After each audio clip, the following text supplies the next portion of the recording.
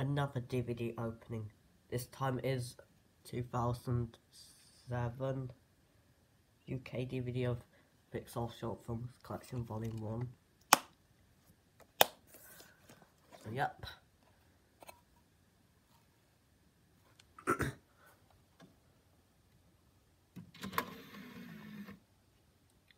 so please enjoy.